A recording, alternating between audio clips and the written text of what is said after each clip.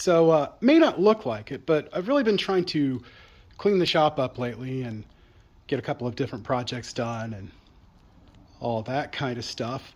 Um, got a new toolbox, trying to move some stuff into that.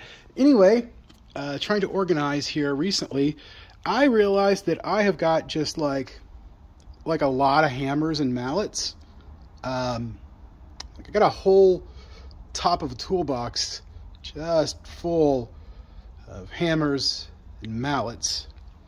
Uh, this little guy right here this is my favorite, but uh, that's not all of them. We got this guy here. My stiletto titanium framing hammer has not gotten a lot of use yet. That was bought in anticipation of doing some remodeling to our house.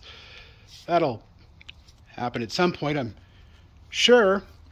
And I'm sure by this point you're saying, well, Wes, that is just a lot of hammers. I'm, I'm not done yet. Uh, so, got this little guy recently.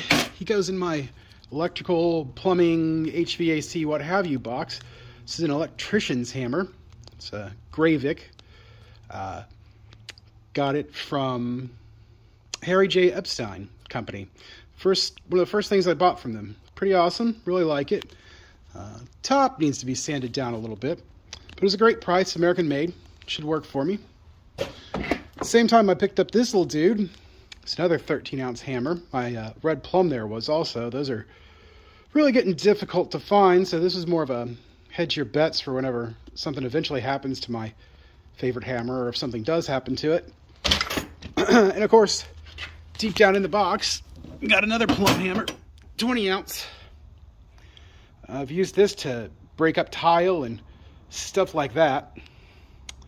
But uh, yeah, I uh, might have a problem with buying hammers. So, uh, don't think I need any more. But I said that before I bought those two. And probably before I bought some of these ones. So, you know, maybe, maybe more.